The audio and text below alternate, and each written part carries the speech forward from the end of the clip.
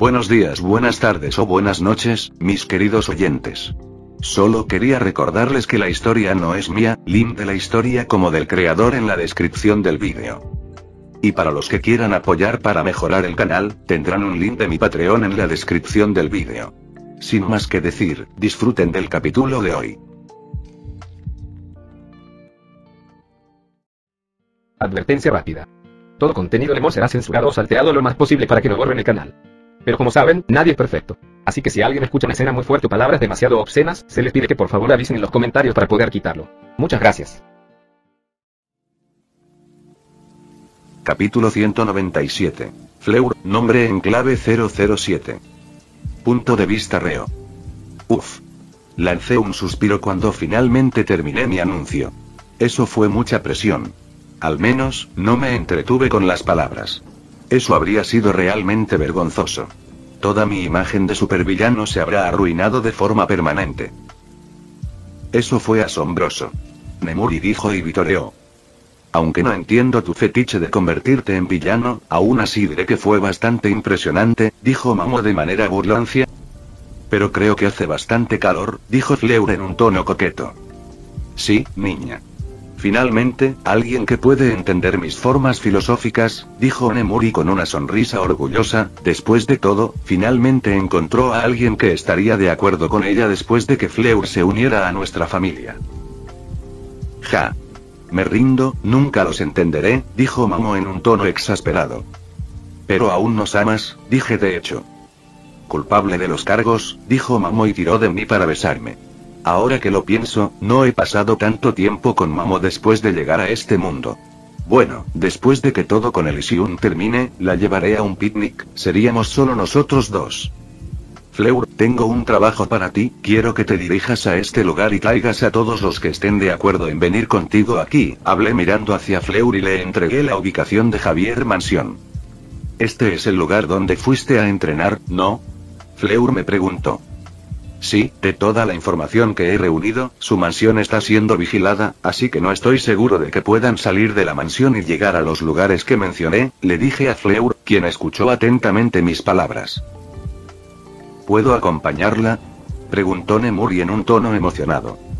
No, tenemos algo más de lo que ocuparnos, le dije a Nemuri, ella no sabía por qué todavía la necesitaban aquí pero como le pedí que se quedara accedió.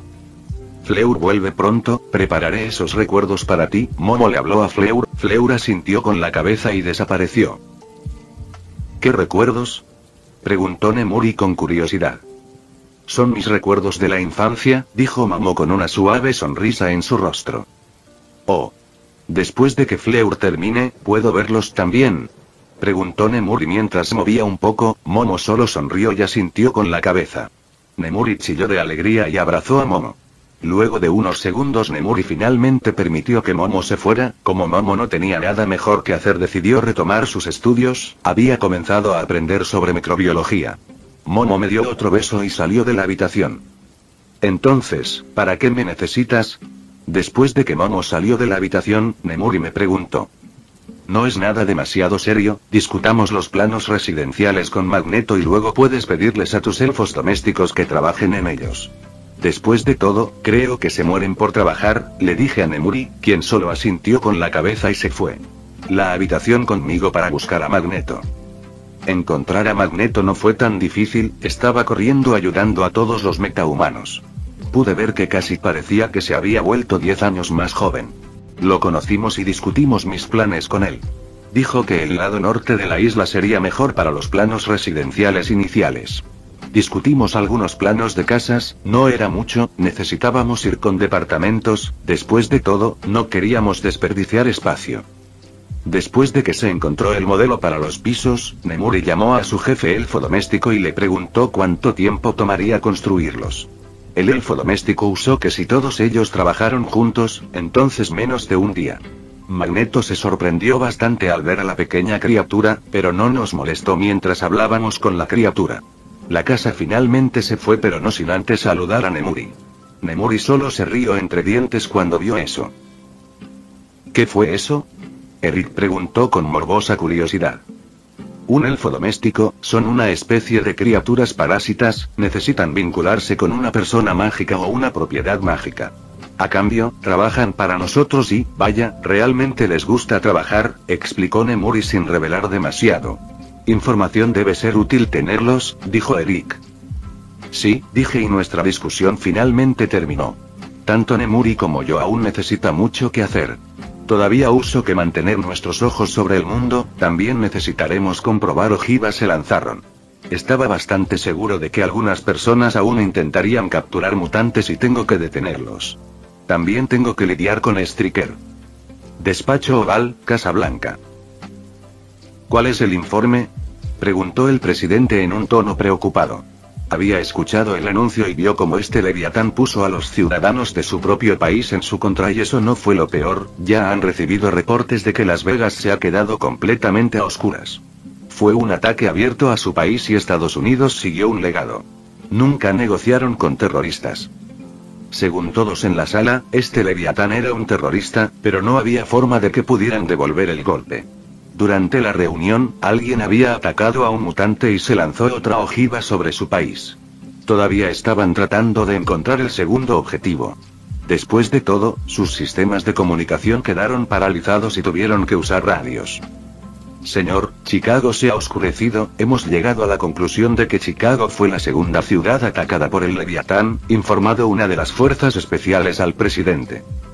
Otro de sus fuerzas especiales se apresuró a entrar en la habitación. Señor, hemos recibido un informe de que Nueva Orleans y Kansas también se han quedado a oscuras, informó el hombre y tragó saliva. El presidente golpeó con ira la mesa con el puño y se levantó de la silla. Voy a convocar una reunión de prensa, no podemos seguir permitiendo que esto suceda, comenzar a escoltar a esos malditos mutantes a los lugares indicados, gritó el presidente. Pero señor, ¿podríamos usar como rehenes? William Stricker habló. No puede permitir que esto suceda, todos sus aviones estaban tan cerca. Estaba tan cerca, pero este leviatán arruinó todos sus aviones. No puede permitir que eso suceda. No aceptaría la derrota. ¿Estás loco? ¿No viste que está lanzando ojivas en nuestras ciudades más grandes? ¿Y qué pasaría si decide atacarnos con una ojiva nuclear? ¿Y si decide que fue insuficiente masacra una ciudad entera? ¿Lleno de gente como él había prometido? Preguntó el presidente a Striker acaloradamente. Entiendo sus preocupaciones, señor. Pero no podemos simplemente rendirnos, ya ha visto lo peligroso que son los mutantes y si les permitimos salirse con la suya, se volverán más audaces y no podremos controlarlos. Si aprenden a pelear juntos, presionó Striker, no había forma de que se rindiera sin pelear. Señor presidente, estoy completamente de acuerdo con el general Striker, no podemos permitir que gane ese antinatural, ese leviatán es uno de ellos, antinatural como ellos, y también está tratando de destruir nuestra sociedad. No debemos mostrar nuestra debilidad y negociar con ese terrorista. El general Tadeus Ross apoyó a Striker, Ross quería armar a los mutantes y ya tenía algunos participantes que no estaban. El infierno se congelaría antes de que él los entregara. Entonces, ¿qué sugieres que hagamos? El presidente gruñó enojado, ni el general Tadeus Ross ni el general William Striker se estremecieron. Señor, decimos en un lugar público que ejecutamos a un mutante y lo amenazamos con continuar ejecutándolos si él. Striker comenzó a hablar, pero todos en la sala querían maldecir al estúpido bastardo. El general Tadeus Ross estaba pensando por qué incluso apoyó a este tonto. Todos en la sala ya sabían que los ciudadanos de su país no les gustaban en este momento debido a que Leviatán les echó la culpa y este estúpido hijo de puta les estaba diciendo que ejecutaran a un mutante públicamente.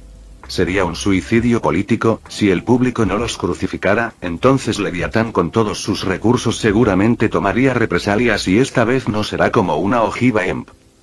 Sabían que el daño que esas ojivas estaban haciendo no era agradable, pero lo que habían visto de ese hombre haría un lío aún mayor y podría arrastrar a los E.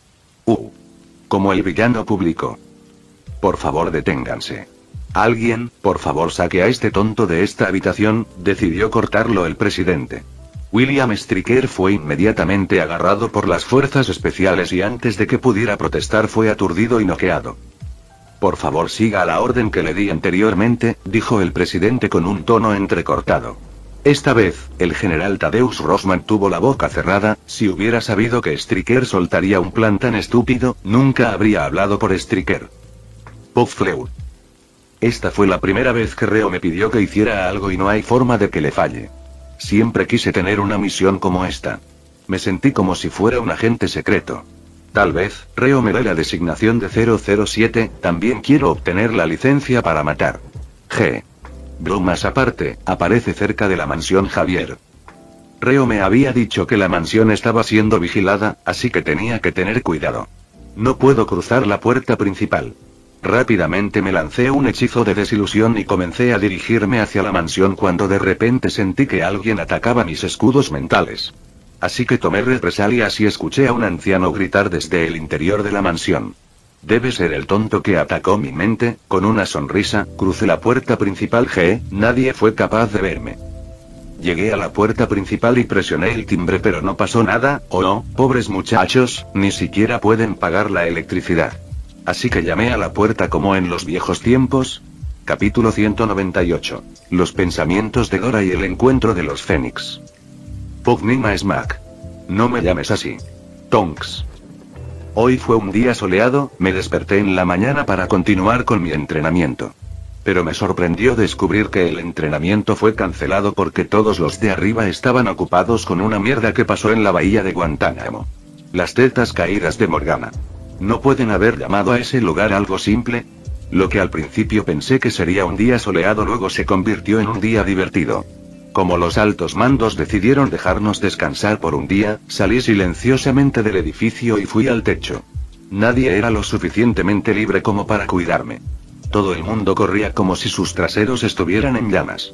Me conjuré un buen paraguas y una manta y me senté mientras me quitaba la ropa cargada. Pero no me olvidé de lanzar un encantamiento de aviso yo no y una runa antivigilancia antes. Haciendo eso. Cambié de nuevo a mi forma preferida y me acosté en la manta. Después de todo, no puedo permitir que alguien obtenga un programa gratis, excepto Reo. Una risita pervertida escapó de mi boca, gracias a Merlin, no había nadie aquí. Culpo a ese pervertido depravado por esto. TCH. Chasqueé mi lengua y conjuré un vaso de cola, sí, sí, sé que desaparecería pero solo quería beber una cola para pasar el tiempo, después de todo, no estoy comiendo comida transfigurada que luego cambiará dentro de mi estómago ensangrentado. La cola simplemente desaparecería. Me reí una vez más cuando recordé cómo los demás corrían. Saqué mi teléfono. No sé cómo funciona este artilugio, pero puede notificarme las últimas noticias y esas cosas. Cosas buenas como estas son bastante raras. Desbloqueé el teléfono y vi las notificaciones. ¿Qué atascos? ¿Por qué en el nombre de Morgana me importaría eso? No es como si condujera un coche. Pasó alrededor de una hora, simplemente holgazaneé allí, después de todo, no tenía nada mejor que hacer. Extraño esos momentos en los que me dormía en mi escritorio de Auror. Ah. Momentos tan maravillosos. Odio el hecho de que Reo me haya dado una misión tan repugnante. Extraño a las otras chicas y a Reo, pero entrenarme para convertirme en agente secreto tiene sus propios encantos. Bueno, solo cinco meses más entonces sería un agente de pleno derecho, y luego podré moverme por mi cuenta. Llegó una notificación a mi teléfono y tan pronto como la vi escupí la cola en mi boca. Bolas de Merlín. Será mejor que mi dinero esté en mi cuenta o los hechizaré hasta el próximo olvido. No es que haya ganado ese dinero, pero tener una gran suma para mí me hace sentir bien. Rápidamente revisé el saldo de mi cuenta y afortunadamente todo el dinero estaba allí. Puede que sea torpe, pero sé muy bien quiénes son los culpables. Solo Nemuri y Reo harían algo así. Pasé el resto de la mañana en el techo simplemente acostada sobre la manta, de repente mi estómago grunó, oh, ya es mediodía. Supongo que debería bajar y conseguir algo para alimentarme. Me levanté y me vestí rápidamente, después de eso, desaparecieron el paraguas y la manta. Me cambié de nuevo a mi disfraz antes de dar un paso. Tan pronto como di el primer paso, tropecé. Vete a la mierda. ¿Quién diablos hace un suelo así? Ha disparó un hechizo punzante en el suelo. Joroba. Eso te enseñará a no volver a hacerme tropezar. Bajé rápidamente las escaleras y me dirigí a la cantina, pero el mundo parece odiarme. Tropecé en el último escalón y con gracia planté mi cara en el suelo. Uh, un gemido involuntario salió de mi boca, incluso después de convertirme en una diosa, todavía soy odiada por el mundo. ¿Qué clase de puta lógica es esa? Volví a gemir, pero me levanté del suelo. Afortunadamente, después de todos estos años de riguroso entrenamiento, mi rostro se ha vuelto bastante resistente y ni siquiera tenía un rasguño. Todavía recuerdo cuando era pequeño cuántas veces terminé con la nariz ensangrentada cuando mi adorable carita se topó con el suelo. Mi pobre cara adorable. Me enfadé un poco y luego decidí dirigirme hacia la cantina. Finalmente, al llegar a la cantina, fui a buscar algo de comida. Me encanta la comida aquí, pero también está el problema. La cantidad de grasa en la comida. Si continúo con esto, entonces mi adorable cuerpo podría volverse como el autobús noctámbulo. Me estremecí una vez más. A Momo definitivamente le encantaría esta comida. No entiendo cómo Momo, Nemuri y Rumi manejan sus senos. Sí, puedo cambiar mis proporciones pero manejarlas se vuelve difícil y los calambres en la espalda. Todavía recuerdo cuando una vez traté de imitar las de Nemuri pechos y casi me caigo de cara por el aumento de peso. Después de terminar mi comida volví a mi habitación, bueno, no se puede llamar una habitación. Era más como una celda, al menos no había barras de acero y podía salir cuando quisiera. Decidí tomar una siesta de belleza. Me desperté por la noche y después de refrescarme salí de mi habitación. Al menos mi celda tiene un baño pequeño y vi que todos estaban reunidos frente al televisor. La televisión estaba haciendo un ruido extraño y de mierda. De repente grabé esa película que Luna me mostró. Una chica espeluznante salió de la televisión. Esa fue una película realmente aterradora. Eso no va a suceder, ¿verdad? Veía nerviosamente la televisión, pero por suerte Reo apareció en la televisión. Ah, eso me dio un susto. Empecé a alejarme, pero de repente me congelé. ¿Qué? ¿Por qué, en nombre del testículo izquierdo de Merlín, Reo está en la televisión? Ja. Puede que haya visto mal, así que decidió comprobar de nuevo. Volví a mirar hacia la televisión y Reo todavía estaba allí. Así que mi torpe mente no me estaba jugando. Después de eso, vi a Reo amenazar al mundo entero con placer perverso. ¿Está mal que me excitara ver a Reo así? ¿Me infecté con algunas de las tendencias cuestionables de Nemuri? ¿O era Fleur? Cuando Reo finalmente terminó su anuncio, los altos mandos dispersaron a toda la multitud. Esta era una táctica común, después de todo, no puede permitir que la lealtad de sus futuros agentes vacile por algo como esto. Finalmente regresé a mi habitación y decidí acostarme, descubrí que no era posible así que decidí echarme una mano o dedos en este caso. Me levanté e intenté subirme los pantalones, pero me tropecé y me golpeé la cabeza contra la cama. No te preocupes, no pasó nada, después de todo, mi cabeza también estaba bastante fuerte con lo mucho que entrenaba desde que era un niño. Me levanté, la caída ni siquiera me desconcertó, y proseguí a hacer mis necesidades. Puff Fleur. Llamé a la puerta y me abrió una chica pelirroja. Inmediatamente supe que esta chica estaba conectada de alguna manera con algún fénix, mis sentidos me gritaban pero la pelirroja no obtuvo ninguna reacción. Ella podría no saber sobre su herencia. Sentí que su fénix me estaba gritando por ayuda. Este fue un sentimiento nuevo para mí. Así que usé mis poderes de fénix para enviar algunas emociones relajantes. El fénix parecía calmarse relativamente. Debo preguntarle a Reo sobre esto, esto no me parecía natural. Era casi como si alguien hubiera encerrado al Fénix dentro de su cuerpo. Realmente tengo problemas para discernir si hay otra entidad en la niña o si la niña misma tiene un linaje similar al mío. Hola, ¿cómo puedo ayudarte? Me preguntó la pelirroja con una mirada extraña. Oh, debo haber estado mirándola. Mi primera misión e hice el ridículo. La chica me miró con ligera cautela. Mi nombre es Delacour, Fleur Delacour, me presenté. Un. ¿Qué puedo hacer por usted, señorita Delacour? Me preguntó la pelirroja con una mirada extraña. Ella parecía estar todavía en guardia. No mucho, fui enviado aquí por Leviathan, dije y vi que la expresión en el rostro de la mujer cambió ligeramente. Por tu expresión, puedo ver que ya debes haber escuchado su anuncio, decidí continuar, la mujer solo asintió con la cabeza. Al ver la falta de electricidad en tu mansión pensé lo peor, pensé que tendría que explicarte todo desde el principio. Pero como escuchaste su anuncio, esto será más fácil. Me envió aquí para ayudarte a salir de este lugar. Él sabía que estabas siendo vigilado por lo que me había enviado a mí, dije en un tono serio. Entonces, ¿ha venido a ayudarnos? Preguntó la pelirroja con esperanza en su voz. Ella también parecía estar desesperada. Gente pobre, si no pueden pagar la electricidad, tampoco deben poder pagar la comida. No había necesidad de gastar todo su dinero para comprar una mansión. Oui, me había enviado aquí para que pudiera llevarme a quien quisiera irse, dije con una cara seria. Quería darles comida y dinero para que tuvieran electricidad, pero aquí no estaban seguros. ¿Cómo podemos confiar en ti? Preguntó la pelirroja y sentí que varias ondas mentales golpean mis barreras mentales. Por favor, deja de hacer eso, ya fui atacado mentalmente por un viejo tonto. Eres mi pariente, no quiero atacarte, le dije a la chica, se encontró cuando mencioné al viejo tonto, pero ella realmente parecía confundido cuando dije mis parientes. ¿Cómo metahumanos? ¿Cómo Leviatán se refiere? Me preguntó la pelirroja confundida. Como si pensara que ella no sabe sobre su propia herencia. No, me refiero a Fénix, ambos somos Fénix, dije mostrándole mi brazo que estaba rodeado de llamas. Capítulo 199. Los pensamientos de Natasha y los Fénix. Pug Natasha. Ha sido la mejor semana de toda mi vida, nunca me había imaginado que se me permitiría vivir libremente así sin ataduras. Me paré junto a la barandilla del techo y miré hacia el océano.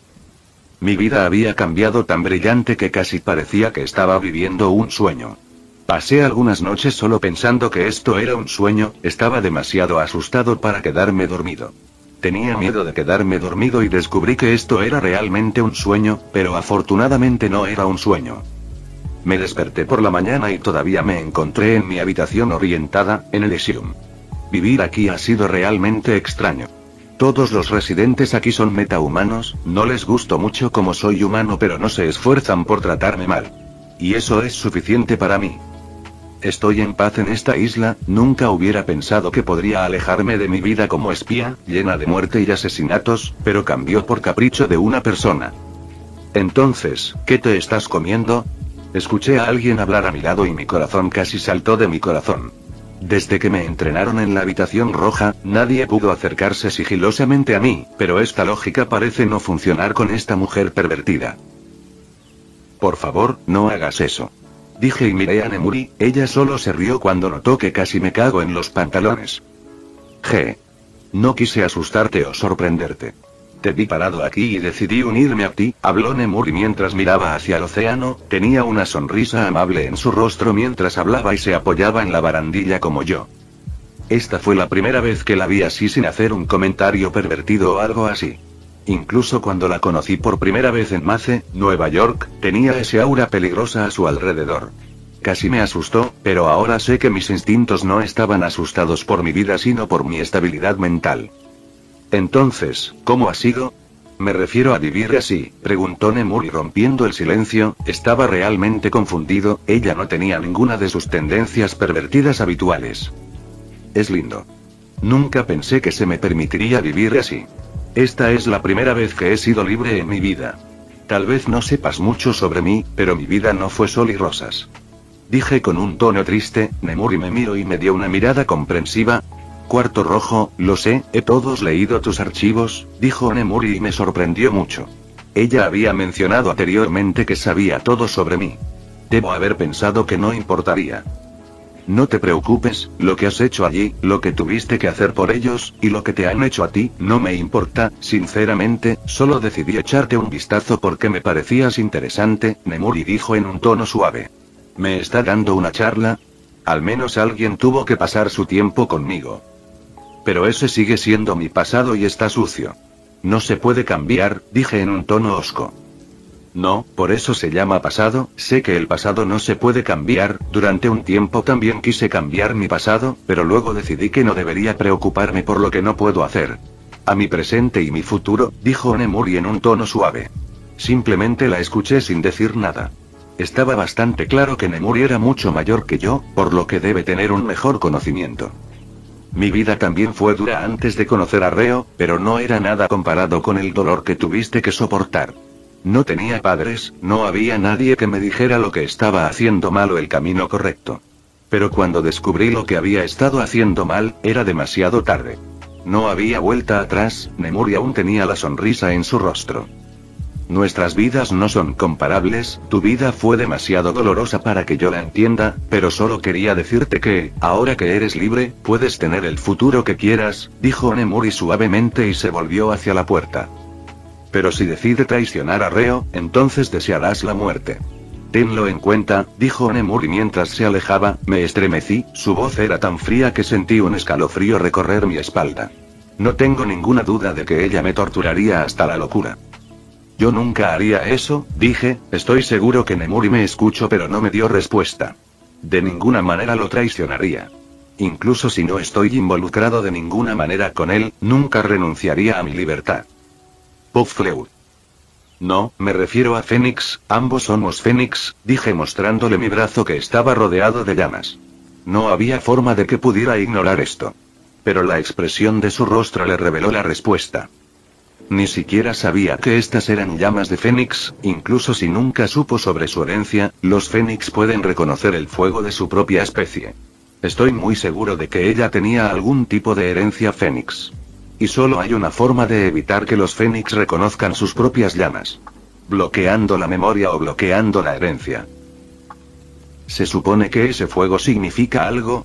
Me preguntó la pelirroja con una mirada confundida. Ahora estoy bastante seguro de que alguien debe haber guardado bajo llave sus recuerdos o su herencia. Y esa persona podría estar aquí. Necesito desviar el tema y llevarla a Reo, Momo o Luna. Ellos saben mucho más que yo en este tipo de cosas. Oh, lo siento, por favor, perdóname, debo haberme equivocado en algo. Pensé que controlabas las llamas. Me refiero a ver el color de tu cabello y todo, si quiero convertirme en un agente secreto, debo saber cómo desviar los temas y decir mentiras como todo es normal. Un. Lamento decepcionarte pero soy telépata, dijo la pelirroja. Entonces, ¿cuánto tiempo te tomará decirle a los demás? Pregunté tratando de instarla a que se diera prisa. Podía escuchar la tristeza del Fénix. Usé mis poderes y tranquilicé al Fénix. La forma en que el Fénix dentro de ella está actuando, creo que la pelirroja y el Fénix son entidades completamente diferentes. ¿Qué le vas a decir a los demás? Preguntó alguien con voz suave y vi a un anciano en silla de ruedas llegar detrás del pelirrojo. El anciano estaba siendo seguido por un hombre ceñudo con gafas de aspecto extraño. No sé por qué, pero mis instintos me gritan que lo derrita. Entonces, ¿tú eres el que me atacó? Pregunté con voz mordaz. No me gusta que la gente trate de mirar dentro de mi cabeza. Por favor, tienes que perdonarme, me di cuenta de que venías hacia mi mansión y decidí comprobarlo. Solo fui cauteloso, soltó una tontería el viejo tonto. Mis instintos ya estaban gritando, mis sentidos de Dumbledore se estaban volviendo similares. Me he encontrado con Dumbles varias veces, pero estos dos tipos son demasiado parecidos. Debe ser el Dumbledore de este mundo. Por favor, no intentes eso de nuevo, o atraparé tu mente dentro de mis barreras mentales, dije acaloradamente, el chico detrás de él quería atacarme. Ya podía ver por su lenguaje corporal pero se contuvo. Bien por él. ¿Por qué no vas e informas a los demás? Insté a la pelirroja de nuevo, ella solo asintió tontamente con la cabeza. Mai, te pregunto de qué estabas hablando. El viejo tonto volvió a preguntar. Leviathan me había enviado para llevar a todos los metahumanos dispuestos al refugio seguro, explicó quizás. ¿Tienes algún medio para hablar con él? Debo tratar de hacerle entender los errores en sus caminos, balbuceó el viejo tonto, no sabía de qué estaba hablando pero no tengo ningún problema en permitirle hablar con Reo. Saqué mi teléfono y llamé a Reo. Para entonces, muchos metahumanos se habían reunido frente a la puerta. Ya que la pelirroja todavía está aquí, espero que al menos puedan informar a los demás. Fleur, ¿qué necesitas? Después de aceptar la llamada, Reo me preguntó. No, alguien quiere hablar contigo, dije secamente. Un viejo tonto en una silla de ruedas con vibraciones de Dumbledore. Reo me preguntó. Exactamente, ¿debería darle el teléfono? Yo pregunté. Si eso es todo lo que necesita escuchar y le entregué al viejo tonto mi teléfono. Lo miró con curiosidad y lo sostuvo y lo sostuvo de manera similar como lo había hecho yo. ¿Estoy hablando con Leviatán? preguntó el hombre sobre ruedas. Debo insistir en que detengas esta locura. Nunca lograremos la paz así, balbuceó el viejo tonto. ¿Es senil? Debe estar loco. Sí, ese debe ser el caso. Entonces, no tengo nada más que decir. Pero debes saber esto, usaré todo mi poder para detenerte, dijo el viejo tonto, sí, definitivamente fuera de sí si cree que puede detener a Reo, cualquier cosa que Reo quiera lo conseguirá. El anciano me devolvió el teléfono con una mirada solemne en su rostro, todos estaban ahora en la puerta. Esto lo hace mucho más fácil. Creo que nos hemos retrasado lo suficiente, Leviatán me envió aquí para llevar a cualquiera que esté dispuesto al refugio seguro que Leviatán había construido, les dije a los metahumanos reunidos, e inmediatamente estallaron murmullos entre la multitud. Capítulo 200. Reunión. Fleur. Tan pronto como terminé de hablar, varios metahumanos ya aceptaron ir conmigo, todos dieron un paso adelante y comenzaron a hacerme varias preguntas. Les respondí lo mejor que pude. ¿Estás diciendo que iremos a una isla escondida? Me preguntó una mujer de pelo blanco.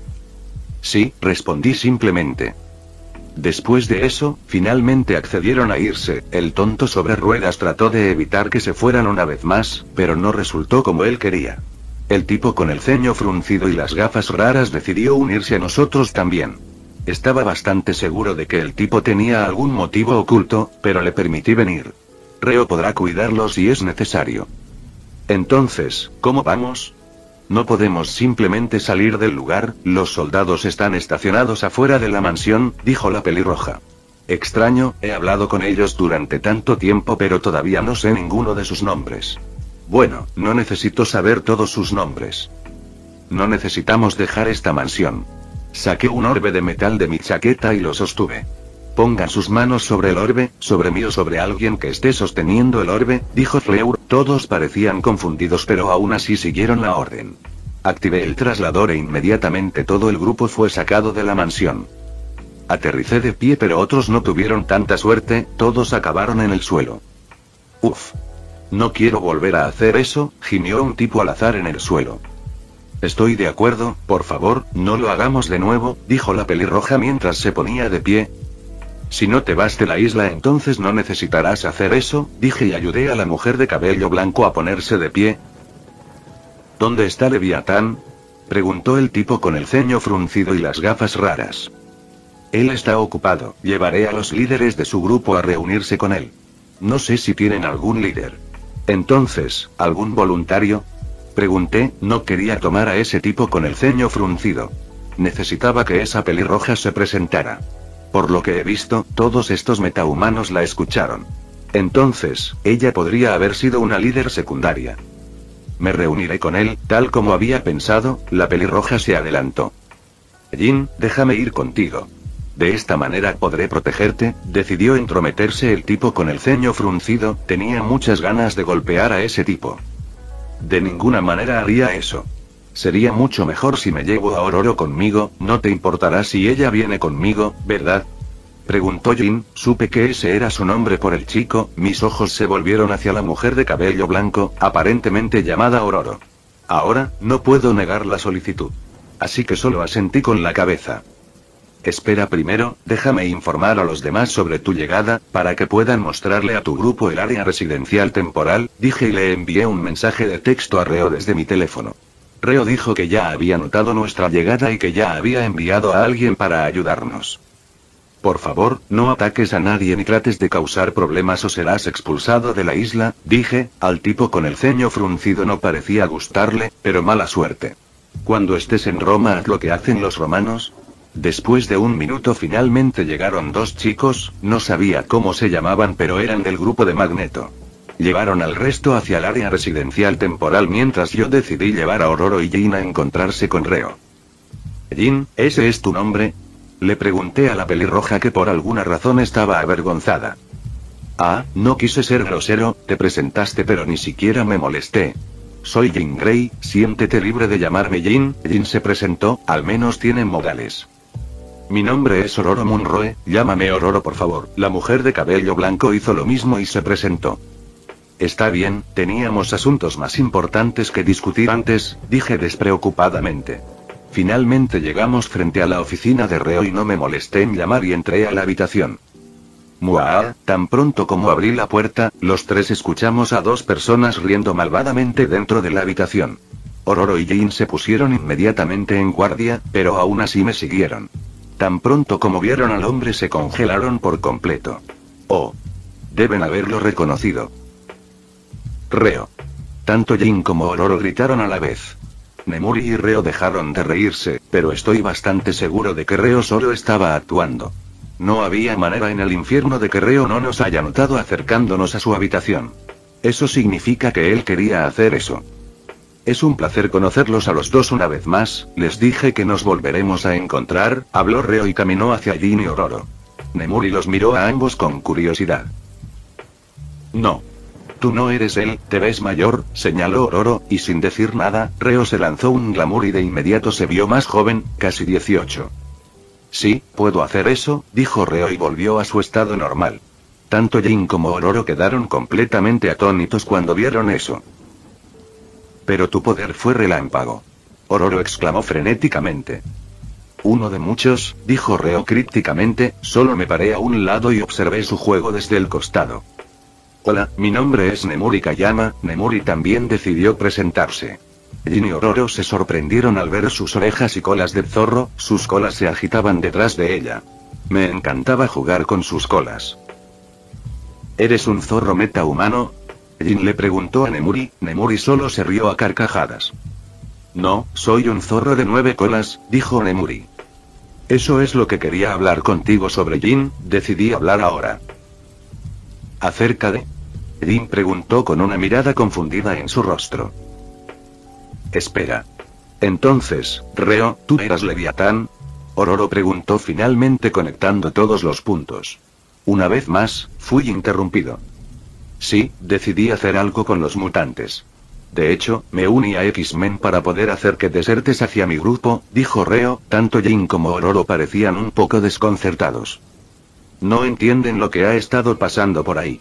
Charles los manipuló a todos ustedes para que no dañaran a los humanos. Lo que estaba haciendo la senadora Kelly tenía que suceder en algún momento. Después de todo, los humanos siempre temen a lo desconocido y nosotros somos desconocidos. A los humanos por lo que obviamente nos temen, Reo habló con Jin y Ororo. Y lo que temes, tratas de conquistarlo o destruirlo. Eso es exactamente lo que sucedió, el senador Kelly fue asesinado por un humano que usó mutantes con el cerebro lavado. Usó ese incidente para impulsar su complot. Reo continuó hablando y para cuando Reo terminado tanto Jin como Ororo estaban temblando de ira. Entonces, ¿nos trataron como animales debido a los humanos? ¿Muchos de nosotros perdimos todo debido a los humanos?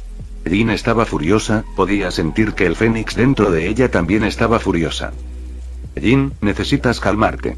Podemos hablar de todo esto más tarde, tenemos algo más importante de lo que ocuparnos ahora, dije finalmente hablando de nuevo. ¿Recuerdas que dije que eras un fénix y luego desvié el tema? Le pregunté a Jin, quien solo asintió con la cabeza con una expresión confundida. Bueno, mentí. Tienes una especie de fénix encerrado dentro de ti, dije, Jin estaba completamente desconcertada.